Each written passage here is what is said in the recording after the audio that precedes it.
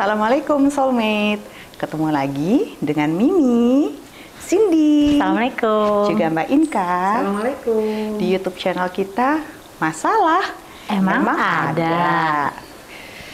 Sin, Yes. kamu udah beli kambing belum? Atau sapi? Iya. Udah mau Idul Mendekati? Idul Adha ya? Yes. Belum. Belum. Terus kalau ini kamu mau beli kambing atau sapi? Eh, Aku masih bingung. aku juga. Belum planning ke situ sih ya. Iya. Ngobrol-ngobrol. Belum. Iya. Hampir lupa juga sejujurnya. Nanti tanggal 9 Juli Yes. itu hari raya Idul, Idul Adha. Gitu. Hari ini kita mau ngobrol ya. Ya. Apa sih sesungguhnya? ya, Mm. menjelang Idul Adha kita mau sharing Ya. tentang makna, Makna ya, dari berkurban ya. berkurban itu Yes. sendiri. Nah, soal berkurban ini kemarin ada pertanyaan dari keponakan aku nih, umur 10 tahun. Lucu banget pertanyaannya tentang kurban. Jadi pertanyaannya gini.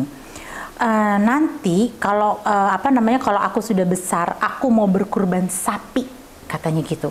Karena kalau aku berkurban sapi, nanti di surga aku bisa duduk di kursi yang paling lebar. gitu katanya anak umur 10 tahun ini berarti dia punya sudut, Sudut pandang, pandang itu gitu kan kurban ya. gimana tuh Mbak Inka sudut pandang Ya kan kalau kita kan Mea ini kan berbagi sudut pandang yang membuat nanti masalah itu kan nggak ada. ya Ya, betul. Karena Mimi sama Cindy bisa nggak ngebayangin, ngerasain kalau kita punya sudut pandang Hmm. untuk bisa eh, kurban sapi supaya bisa punya kursi di surga. Ya Kebayang nggak kalau kita dalam kondisi prihatin? ya kita nggak bisa Iya, berusaha itu Sama dia. surga dong. Iya, bener. Ya Jadi kan? terbatas ya Mbak ya. Atau kalau kita punya uang, kita beli aja 50 sapi jadi 50 kursi ntar yang duduk siapa? Iya. Nah, itu akan membuat Oke. kalau dalam kondisi kita nantinya kita dalam kondisi nyaman, punya uang, nggak masalah. Tapi masalahnya hidup kan untuk diuji ya. Ketika kita dalam keadaan hidup prihatin, ini menjadi masalah. ya Karena Iya. setiap manusia hakikatnya ingin masuk surga, betul Iya. ingin selamat gitu Iya. ya kan. Pasti. Nah tentu ini harus kita cari eh, sudut pandang yang tidak ini bibit gitu. Hmm. Ini bibit eh, ketidakharmonisan jiwa. Nantinya dia akan sulit untuk eh, enggak merasa eh, tidak punya masalah itu susah. Ya Ya. Saya apalagi dari- tujuan untuk beli sapi cuman hanya kepengen duduk di kursi Iya, lebar kursi di surga Ajaran- ya. Ajarannya nggak dapet ajaran dari kurban itu sendiri. Esensi dari Esensinya kurban. dari berkurban itu ya Mbak Iya. ya. Iya gitu. Jadi kan sebenarnya kita hanya berpegang sudut pandang Al-Quran kan jelas. Kita punya rumus. Hmm. Di mana rumus ini di mana pun ini rumus tetap berlaku. Yaitu apa?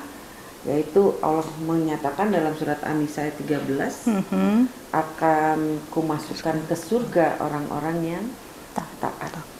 Jadi surga itu udah memang melalui eh, ketaatan. ketaatan hanya itu Iya. caranya Iya, ya di mana ketaatan itu akan menghasilkan pahala. Jadi ada timbangan pahala dan dosa, di mana timbangan pahala dan dosa itu dicatat oleh malaikat.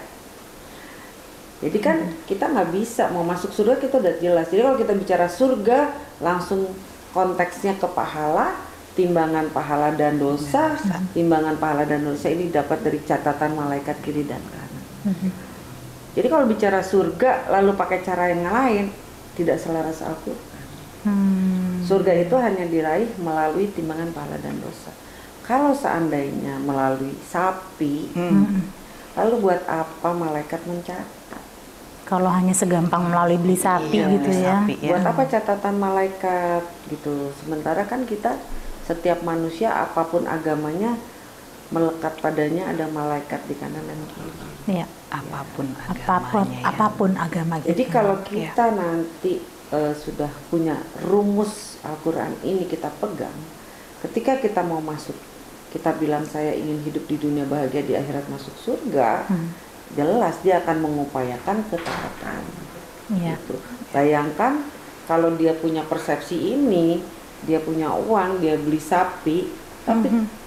tidak kerjanya tiap hari membangkang, Iya. tentu kan tidak bisa.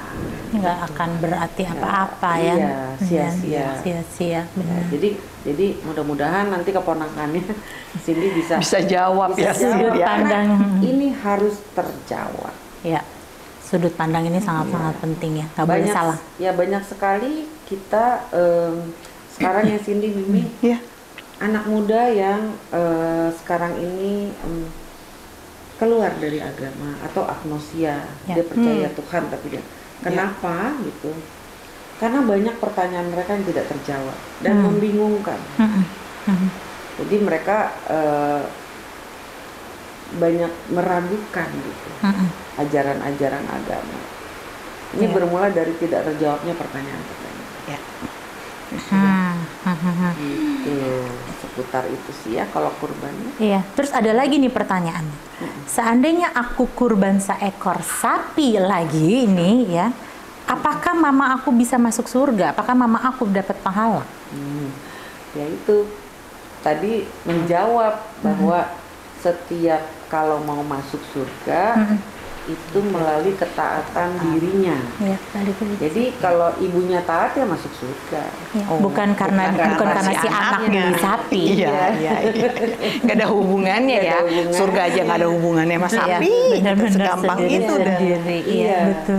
Dan juga kalau misalnya eh, kalau kecuali kalau ibunya mengajarkan tentang kurban sehingga anaknya itu tertancap kesadaran bahwa eh, kurban itu kebutuhan dia. Hmm. Nah, ibunya tentu dapat reward Iya. dari Allah ya kan. Tapi Mengajarkan kesadaran di. Iya, kan iya, yang iya, membawa dia kesadaran. kepada ketaatan Hmm. eh, pada Allah. Tapi Iya. kalau misalnya ibunya sendiri membangkang ya semua kan eh, hubungannya Iya, dengan jadi ketaatan diri sendiri ya. Hmm. Iya. Jadi sebenarnya Mbak eh, kurban itu kurban Idul Adha tuh makna yang sesungguhnya Iya. tuh apa sih Mbak sebenarnya? Kan bukan cuman Ya, sekedar bukan cuma kita berkurban, kurban kambing, sekian atau ya ya kan? kan? Mm-mm, gitu. Ya sebenarnya kan se- hampir hampir 80% kan Al-Qur'an itu Al-Qur'an itu kan untuk kebutuhan jiwa manusia, artinya untuk kalbu. Hmm. Spiritual itu kan ranah kalbu. Ya. Kalbu nggak bisa mikir, Hmm. kalbu hanya bisa Merasakan, merasakan. ya. Nah, merasakan itu melalui suatu permisalan.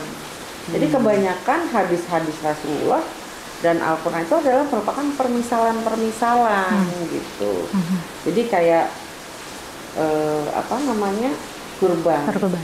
Kurban itu kan apa sih hakikatnya? gitu. Iya. Sebenarnya kurban itu kan sesuatu yang me- me- me- menyerahkan sesuatu yang eh, kita Pemilikan, sayangi ya. gitu, yang kita sukai gitu Hmm. Yang berharga yang buat kita berharga gitu. buat kita. Jadi eh, kalau di Al-Quran kan diperumpamakan Nabi Ibrahim dengan Ya, anaknya dengan Ismail. anaknya Nah, Ismail, betul. kalau sebenarnya hakikatnya kan kita ini semua adalah Ibrahim, di mana setiap Ibrahim mempunyai Ismail, Ismail. gitu. Apa pun itu ya Apa pun itu. Ismailnya ya. Ismail itu bisa Ismailmu adalah hartamu, ya, bisa oke. Ismailmu adalah anakmu, bisa Ismailmu ada gelarmu, pangkatmu, jabatanmu. Itu bisa. Iya. Apa yang melekat di Apa aku yang ya? melekat di sini. Nah, jadi eh, kurban itu untuk kita belajar untuk menyerahkan sesuatu yang kita cintai karena kehendak Allah. Hmm. Jadi artinya kalau kita nggak punya uang, bukan berarti Iya. harus beli kambing gitu, Hmm. Iya. ya kan? Bukan Karena sebatas Ternyata iya. bukan kayak gitu ya. Misalnya, misalnya ada seseorang gitu ya, Hmm. dia punya sesuatu, dia nggak punya uang. Ya.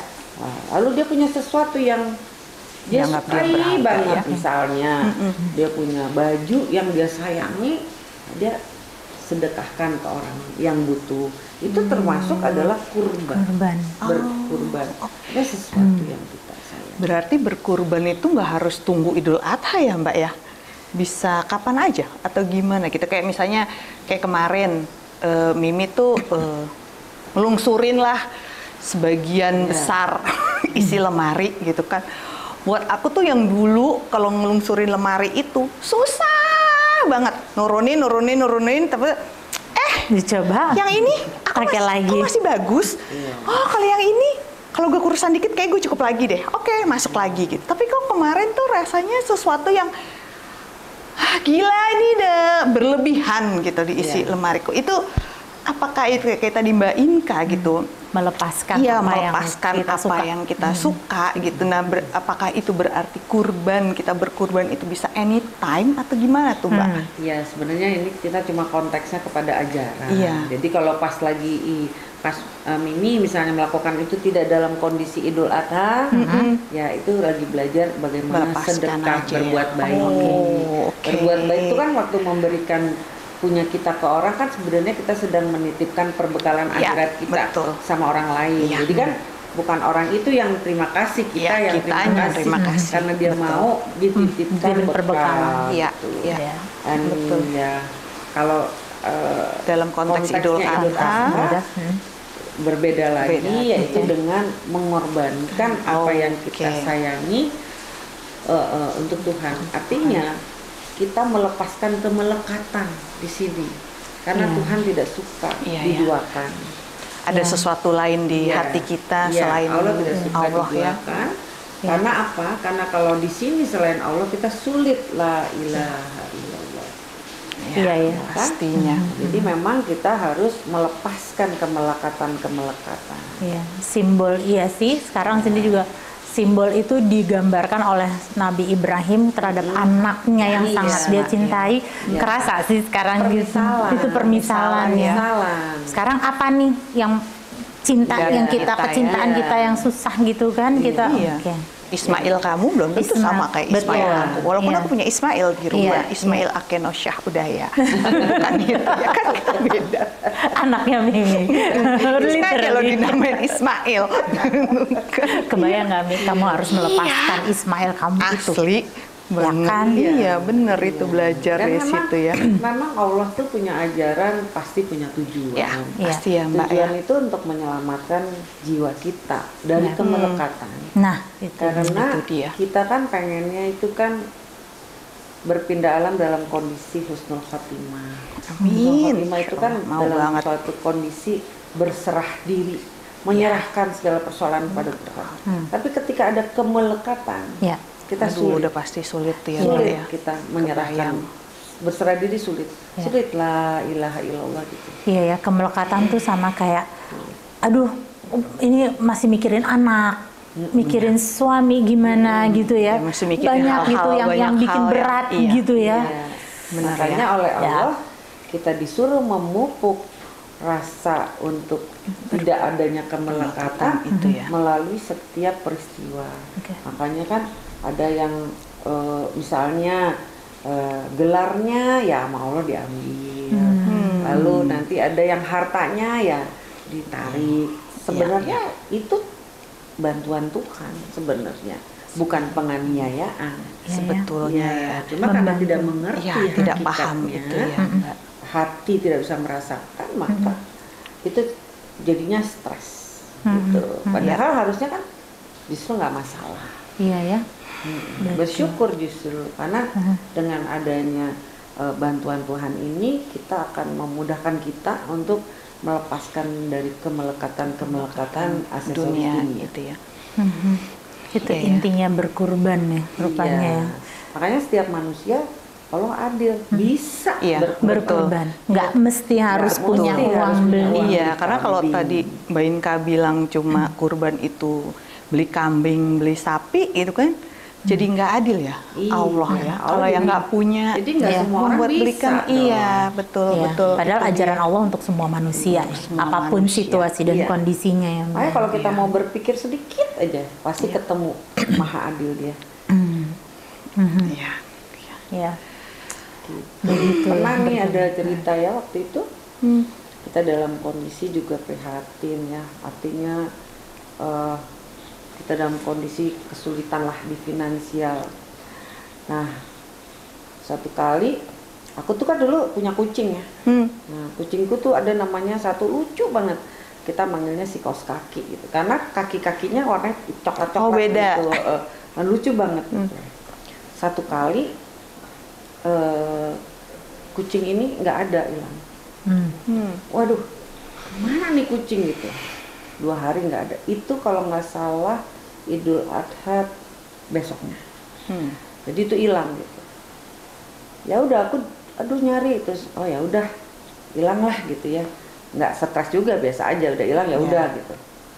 Begitu Idul Adha kan kita nggak bisa beli kambing gitu Hmm. ya. Iya.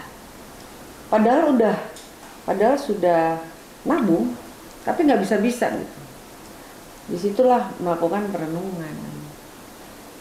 Pasti oh itu sesuatu yang aku cintai. Itu kucing cin- kecintaan aku Hmm. banget. Hmm. Terus hilang. Oh, jadi hilangnya kucing itu buat aku Iya. adalah cara Tuhan memberi kepahaman Mm-mm. kepada Tentang hati ini kurban. tentang esensi kurban. Hmm. Oh, jadi kurban itu sesuatu yang aku cintai. Aku lepas dengan kerelaan karena semata-mata keinginan Tuhan mengajarkan aku. Oh, begitu. Jadi semenjak itu ya setiap hari kurban lakukan perenungan gitu. Oh ya, memang ini Apalagi eh, yang masih iya, menjadi eh, melekat. Jadi ajaran ini emang hebat sekali. Iya, benar. Saya ajaran itu hebat juga karena kita harus paham ya Mbak Iya. ajaran itu tujuannya Iya. untuk apa Iya. diberikan Allah Iya. untuk kita. Iya, makanya kan eh, seorang tukang becak dia em, berkurban untuk berkurban dia nabung satu tahun ya kan beda kualitasnya Iya, dengan sama kita ya, seorang misalkan. konglomerat. Yang eh, siap ya, dana. eh, eh, terus sapinya satu ya kan Hmm, Ya. betul. bukan bukan bendanya tetapi Iya, kualitas kualitas. Kualitasnya Kualitas itu rasa ya, berkurbannya Allah- itu iya, ya. Benar ya. iya Ada prosesnya dan kan Allah juga cinta proses ya Mbak ya. iya Untuk itunya ya. Makanya Pastinya memang tuh. kalau kita merasakan eh, ajaran-ajaran Tuhan, semuanya itu canggih-canggih Hmm. yang membuat masalah Jadi nggak ada, ada, iya sih. pastinya nggak ada. Betul. Ajarannya memang untuk jiwa ya. Iya, Jadi betul. kalau ada orang stres karena nggak punya uang mau beli kurban, kurban, ada yang kurban. salah persepsinya. Iya. Iya, Jadi iya, masalah. iya, iya. Ya, jadi makin paham ya. Iya. Bukan di situ ternyata Bukan bukan, beli situ kambing, ternyata. Mhm. bukan beli sapi. Kalau misalnya ada dananya saat Iya. itu ya nggak apa-apa Iya. gitu kan ya, Mbak. Tapi kalau misalnya yang biasanya tiap tahun beli tiba-tiba tahun ini nggak kejadian, nggak mampu untuk beli hewan kurban, ternyata bukan itu sesungguhnya Iya. artinya berkurban itu bukan kambing dan sapi, bukan di situ ya Iya, nilai kurban itu. tapi ya. Iya. Esensi dari saat kita melakukan Iya. berkurban. Jadi itu. ada dan tidak ada dananya sama aja sebenarnya harusnya rasa berkurbannya Yang tahu itu Iya, kan yang yang tahu tahu kita ya. Yang tahu kita memang. Ya, begitulah rupanya persepsi Ya. berkurban. Jadi udah stres lagi ya. Kalau nggak bisa beli kambing Iya. atau beli sapi, Kalau memang nggak ada uangnya. ya, Iya, betul. kalau ada, ya iya, harus. apa, ya, Karena harus memang ya. ya itulah kemelekatannya terhadap Ya, hartanya. hartanya itu ya. Ya. Itu esensi berkurban. Jadi kamu bisa jawab oh, ya nanti Iya. si pertanyaan keponakan. Kamu kemarin Iya. udah jawab belum? Belum. Menunggu tanya Mbak Untung. Ingkanya dulu aja. Pas lah ya. Jadi memang kita harus tahu rumus-rumus kehidupan yang ada di dalam Al-Quran. Iya, Iya. iya. Rumus-rumus itu jelas, jadi ayatnya sudah terang benderang, bukan ayat mutasyabihat, nggak perlu ditafsirkan. Hmm. Aku akan memasukkan manusia-manusia yang taat ke dalam surga. Udah jelas, jadi masuk surga nggak perlu cari Apa jalan lain. Ya, taat Hanya melalui ya. satu jalan, yaitu ketaatan. Ketaatan, pahala. Ya, di ya. sini apa kita melakukan ketaatan dengan Allah menyuruh kita untuk mengorbankan Iya. Apa yang menjadi salah satunya mm, iya. kita itu ya. Di situlah ketaatan kita ya bila kita Iya, yang bisa mem- melakukan kurban yang sesungguhnya itu Iya, ya berarti iya. ya. Alhamdulillah. Begitu jadi juga ini. ya kalau eh, kayak kan eh, sapi untuk tujuh orang. Iya, nah ya itu kan? gimana sih Mbak? Iya, kalau misalnya kita mampu satu ya ngapain bertujuh. Kalau Oh, kita iya. mampunya misalnya oke tujuh orang tapi kita, Kita bisa cuma tiga ber- ya kita iya, ambil bertiga, tiga. uh-uh. Pokoknya sesuatu yang berat Hmm, Ya, untuk. Itu karena ya. itu untuk Tuhan gitu. sesuatu yang berat tapi kita mau rela melepaskannya melakukannya. itulah kurbannya. Jadi Iya. bukan kurbannya tetapi kerelaan, Kerelaan kita untuk untuk menyerahkannya kepada Untuk Tuhan Allah, ya. sepenuhnya Ya.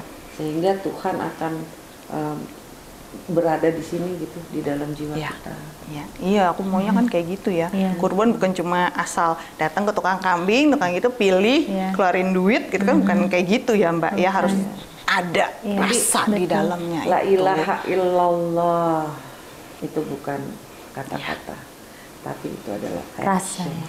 Action. Action. rasa yang Rasa. melahirkan action Rasa yang La melahirkan illallah. action. Aku mengeluarkan Tiada ini Tuhan karena engkau ya Ya Allah. Allah. Iya. jadi harta Ismailku harta Iya. gelar Apa pun Iya. itu ya. sesuatu Ya. Hanya ada Allah di Iya. sini itu ya. Itu ketujuannya itu ya. Ah, Alhamdulillah dapat wawasan lagi dari Mbak Iya, Inka tentang mengenai berkurban esensi ya, yang berkurban ininya ya.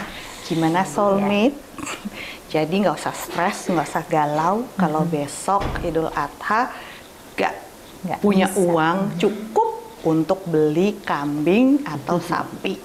ya, ternyata bukan itu esensinya itu bukan kambing atau sapinya, tapi bagaimana rasa kita melepaskan apa ya harta Iya. kita atau apa pun Ismail Ismail dalam diri kita yang kita rela ikhlas kita lepaskan hanya untuk Allah Subhanahu Wa Taala. Jadi semakin berat, semakin Ya, mak- makin Oh, berkualitas tuh ya. Kata Mbak Inka, semakin berat berarti semakin berkualitas. Yes.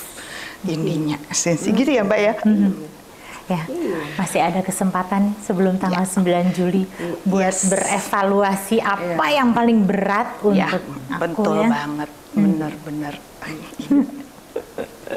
Nah, memang kita harus sadari setiap ajaran pasti punya tujuan Ya, Ya.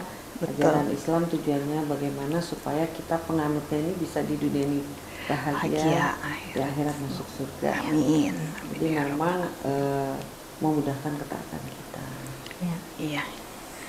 Ah, Dan hanya dengan sudut pandang spiritual yang Yes. tadi Mbak Inka sharing tadi, Yes, membuat masalah, masalah. mengenai kurban ini jadi tidak masalah. jadi Mia ada di mana aja Kakak Indi? Mea ada di Facebook, ada di Instagram, ada di TikTok, dan juga uh, Spotify, YouTube, Spotify. dan YouTube. Yes. Dan juga Soulmate silahkan membagikan saran kalian, sharing Iya. kalian kepada kita. Kita dengan sangat terbuka ya, Ya, kepingin dengan banget dapat banyak input. Iya, untuk kita angkat menjadi tema di sharing sessionnya masalah emang ada. Yes, kalau gitu Ya. kita pamit mundur. Wassalamualaikum warahmatullahi wabarakatuh.